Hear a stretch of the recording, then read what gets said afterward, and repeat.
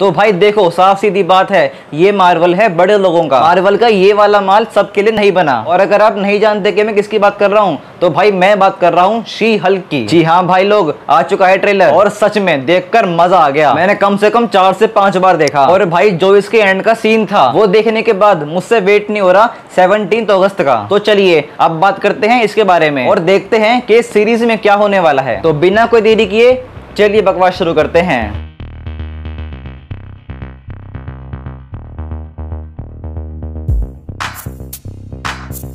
तो हम देखते हैं शुरू में कि जेनिफर वॉल्टर्स मस्त अपना सोरी होती है और हमारे हल्क भैया भोंपू से उसको उठा देते हैं और वो चेक करते हैं उसका गुस्सा, उसका रेज और फिर जेनी पूछती है कि क्या ये एयर होन ज़रूरी था? और फिर ब्रूस बोलता है कि कॉमेडी के लिए। हाँ बिल्कुल। और फिर हम देखते हैं कि हमारे ब्रूस भैया जेनी को ट्रेन कर रहे हैं। और हर मामले में जेनी उनसे आगे है। और ब्रूस पूछता है कि तुम्हारा बेस्ट फ्रेंड कौन है? तो जेनी बोलती है निक्की। और फिर ब्रूस बोलता है कि नहीं, तुम्हारा बेस्ट फ्रेंड है स्पेंडेक्स बड़े लोग बड़ी बातें। और फिर हमारा हल्क बोलता है कि अगर तुम्हें वापस लॉयर बनना है तो ओके। और फिर जेनी बोलती है कि ये झूठ बोल रहा है। और यार, यहाँ पे जेनिफर वॉल्टर्स, यार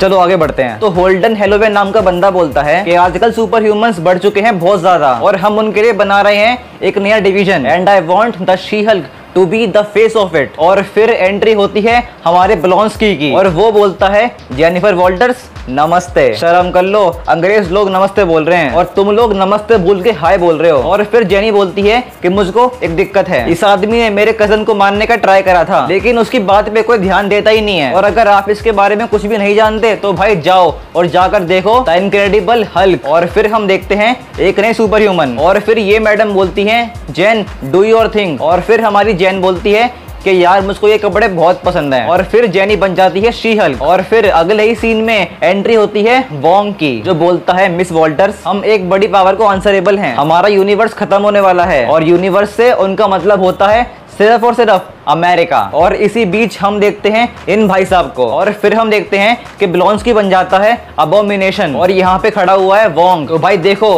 अबोमिनेशन, वोंग, शेंगची। और फिर जेनी बोलती है कि मैं एक लॉयर हूँ। हमें सारे काम बुक से करने पड़ते हैं। और फिर वोंग बोलता है कि हाँ द बुक ऑफ़ विशांति। फिर जेनी बोलती है कि नहीं, the book of American laws. और अगर आप नहीं जानते कि ये विशांति क्या है तो भाई जाओ और जाकर देखो मल्टीवर्स ऑफ़ मैडनेस। और फिर हल्क बोलता है कि तुम चाहे पसंद करो कि ना करो। लेकिन अब तुम हो एक सुपर हीरो और फिर आते हैं कुछ गुंडे जिनके पास अजीब लेकिन बढ़िया हथियार हैं। लेकिन जेनी उनको यू मार देती है। और फिर वो बोलती है अपने दोस्तों को कि तुम्हारी हाई स्कूल में एक दोस्त थी जो तुमसे बहुत कूल थी और वो अट्रैक्टिव भी थी। वो मैं ही हूँ। और भाई एक बात बताओ, इसके दोस्त कैसे कैसे हैं ये? और फिर ब्रूस बोलता है कि मैं जेलेस हूँ। क्या मैं यही फील कर रहा हूँ? और फिर वो जेनी को एक क्लिफ से फेंक देता है। और फिर जेनी उसे कुछ दिखाती है। और भाई ये सीन कंटिन्यूड है उस सीन से जो आया था 51 सेकंड पे। और बस फिर लास्ट में आता है इस ट्रेलर का मनी शॉट जहाँ पर हम देखते हैं हमारे अपने मैट मडॉक एक के ए डेयर डेविल को। भाई मैं जानता था कि वो आएगा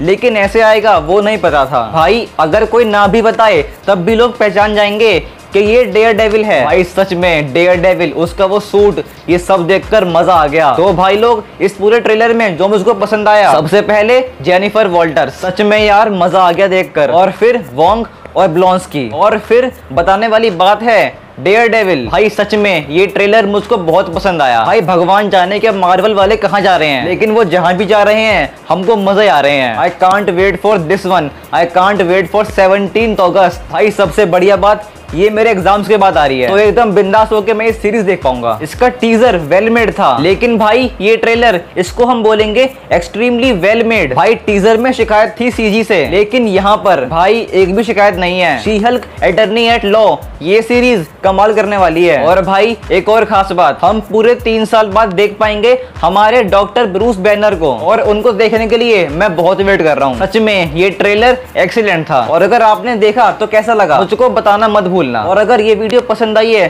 तो इसको प्लीज़ लाइक कर दो और दोस्तों के साथ शेयर भी कर दो। और अगर वो बटन अब भी लाल है तो भाई दबा के ना ग्रे कर दो। और बगल में घंटी है, उसे भी दबा ही दो। और बस, देखते रहो, आपका अपना चैनल मूवी वर्स